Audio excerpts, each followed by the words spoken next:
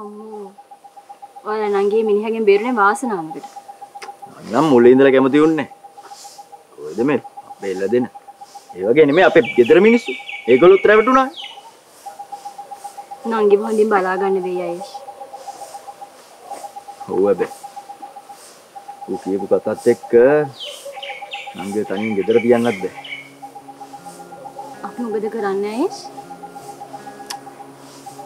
හිතෙන්නේ මාෂා මේකට උත්තරේ අපි ළඟම තියෙන ඒ කිව්වේ?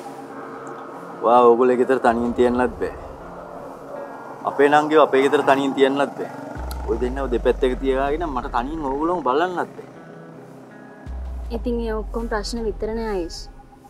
කෝ උත්තර? එක උත්තරයක් තියෙනවා ඒ මොකද්ද? වා අපේ ගෙදර එක්කයි යන එක. මොකද්ද? ඒ කොහොමද? මාෂා. මේක හැමදාම මේ හංගන් ඉන්න බෑ. අම්මට කියන්න ඕනේ. අනේ ඔය ඇත්තම දයස්. ඔව්. ඔයාව මගේ දරුවව නංගිව. ඇත්තටම ඔගොලෝ මම බලාගන්න ඕන. ඒවගේම මට මේ වෙලා කරන්න පුළුවන්ද ඉච්චරයි එතකොට අම්ම කැමති වෙයිද?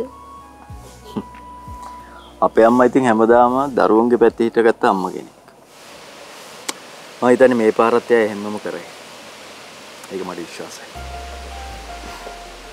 බලමු